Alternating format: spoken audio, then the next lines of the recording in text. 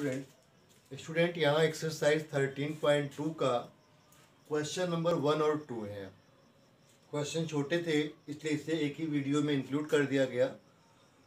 और इस चैप्टर से पहले के, जो एक्सरसाइज से पहले के एक्सरसाइजेस के वीडियोस देखना हो तो जो यहाँ पर आई का आइकन बना हुआ है, उसे क्लिक करके आप पिछले वीडियोस की स्टडी कर सकते हैं।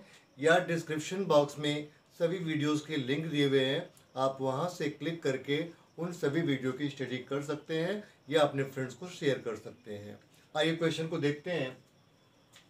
कि ऊंचाई 14 सेंटीमीटर वाले एक लंब वृत्तीय वेलन, एक लंब वृत्तीय वेलन है बेलन का आकार इस तरह का होता है। ठीक है ना? इस तरह का आकार बेलन का आकार होता है। पाइप हो गया सिलेंडर हो गया पिलर हो गया, ये सब बेलनाकार होते हैं। तो यहाँ पर बेलन की ऊंचाई,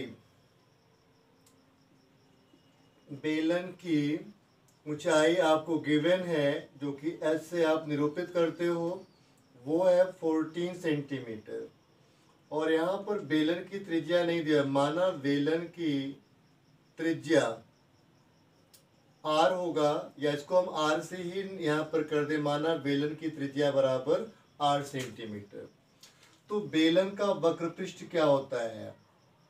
बेलन का वक्र पृष्ठ ठीक? वक्र पृष्ठ बराबर होता है two pi r h, two pi r h. और टू पाई आर एच की वैल्यू दी हुई है eighty eight centimetre square.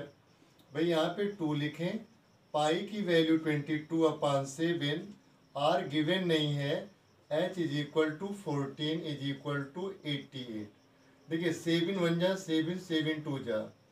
R is equal to eighty eight upon two into twenty two into two to से divide कर दीजिए forty four हो गया। इससे डिवाइड कर दीजिए टू जा हो गया। टू से यहाँ पर वन हो गया। आपसे पूछा गया, आधार का ब्यास क्या होगा? इसलिए ब्यास बराबर क्या हो जाएगा? Two into r two into r two r की वैल्यू वन ये वन सेंटीमीटर तो यहाँ पर जाएगा टू सेंटीमीटर जो आधार का व्यास होगा, वो कितना जाएगा? टू सेंटीमीटर जाएगा। आइए नेक्स्ट क्वेश्चन को देखते हैं। धातु की एक चादर से एक मीटर ऊँचा। तो यहाँ पर आपने नोट किया पहले अपना इंफॉर्मेशन कि बेलनाकार टंकी की ऊंचाई। ऊंचाई एस से आप निरूपित करेंगे और ये हो जाएगा वन मीटर राइट ब्यास, यहाँ पर ब्यास कितना है? 140 सेंटीमीटर बेलनाकार टंकी का व्यास बराबर कितना है? 140 सेंटीमीटर भाई, इसको आप मीटर में कन्वर्ट कर दें.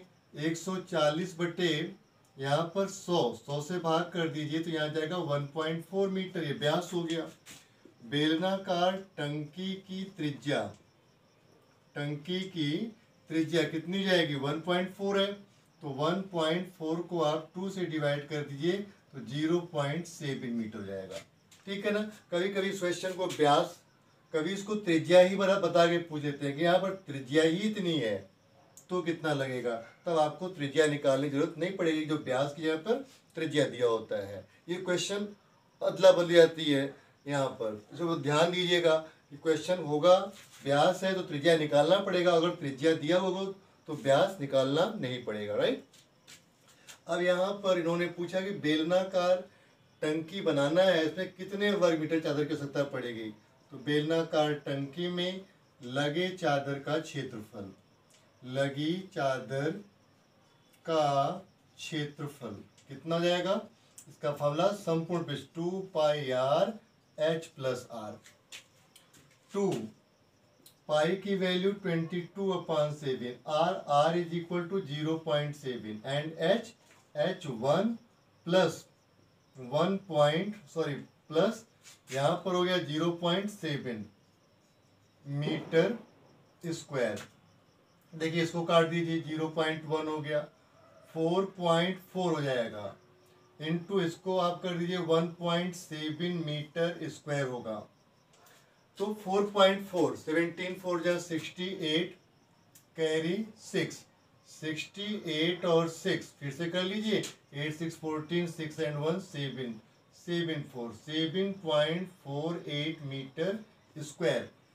ठीक है? जब यहाँ पर व्यास 140 सेंटीमीटर होगा तो त्रिज्या 0.7 मीटर हो जाएगी। तब जो होगा, चादर का क्षेत्रफल इतना जाएगा। और अगर यहाँ पर व्यास की जगह पर त्रिज्या दी जाए तो केवल आप 1.4 रखेंगे यहाँ पर। 1.4 पॉइंट यहाँ पर 1.4 पॉइंट यहाँ रखिए और आंसर फिर निकाल लीजिए। इस तरह से आप इस क्वेश्चन को कर सकते हैं।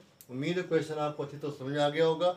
डिस्क्रिप्शन बॉक्स में लिंक्स दिए हुए हैं। वहाँ से पिछले क्वेश्चंस की स्टडी कर सकते हैं, या फिर यहाँ जो आई का आइकन बना हुआ है, आप उस पर क्लिक करके उन्हें आप स्टडी कर सकते हैं। Thanks to watch